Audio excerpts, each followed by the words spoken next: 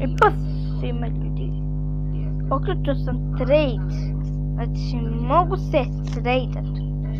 Hmm, šta bi ovdje bilo dobro? Htio bi...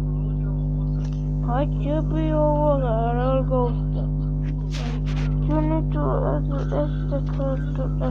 Šta? Tako, A trebam imati još jednu.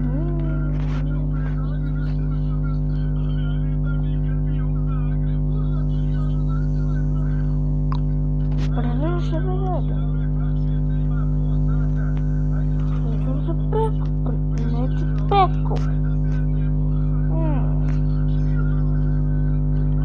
Znači ljudi, okreća sam trade, imam dva ove tokena, šta će s njima? Znači, šta, ne mogu se treba, ne mogu, ma, ma.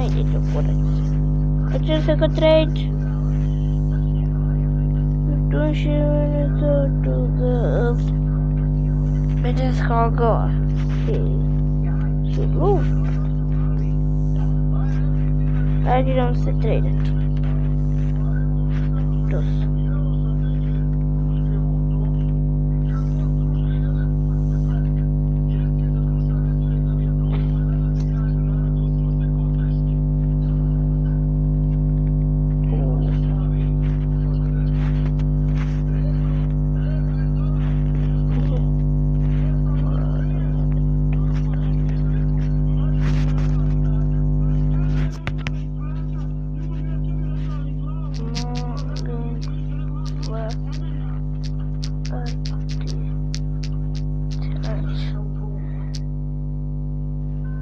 Confirm.